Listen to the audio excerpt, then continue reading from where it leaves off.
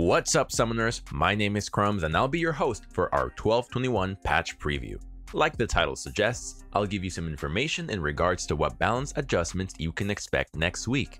With preseason on the way, we're beginning to see the balance team really buckle down and prepare for some massive changes in the near future.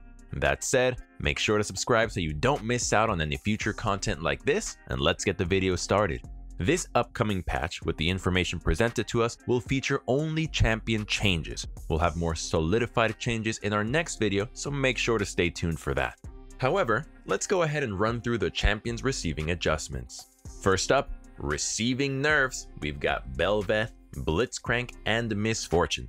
Patch after patch, Bel'Veth has proven her worth as one of the best champions in the game, at all ranks, Bel'Veth is dominating solo queue, boasting over a 51% win rate in high elo and over a 52% overall.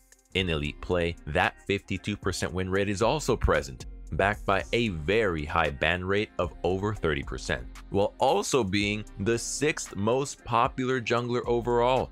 The insane dueling power and infinite scaling can truly be a problem, especially in solo queue where things get chaotic and out of control quickly.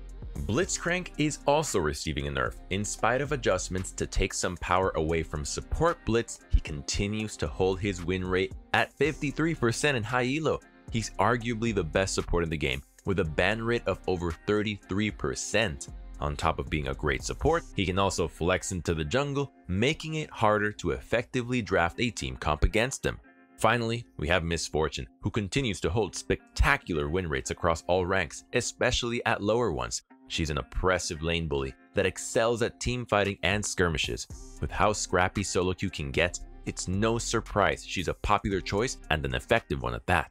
That covers the nerfs, so let's head into the champion buffs next. The following champions are getting buffed next patch. Ahri, Corki, Malzahar, Xin Zhao, and Rumble.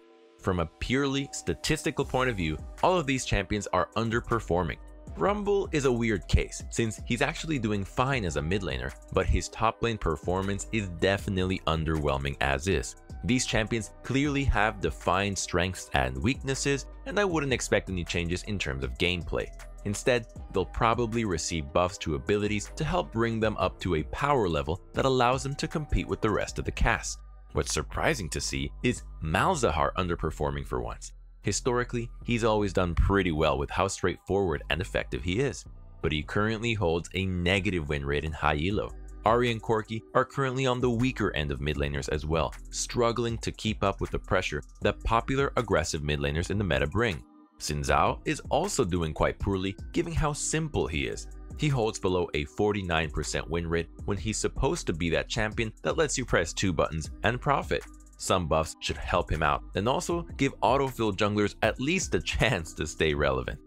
That covers the buffs and also wraps up our 1221 patch preview. Thank you so much for watching. I hope you enjoyed it. Feel free to share your own thoughts in the comment section below with any changes you think Riot missed or champions listed that you don't think need to get touched. Whatever the case may be, let us know. We'll see you all in the next one where we'll provide the comprehensive change list for next patch. And as always, good luck on the Rift, and may the LP gods smile down upon you.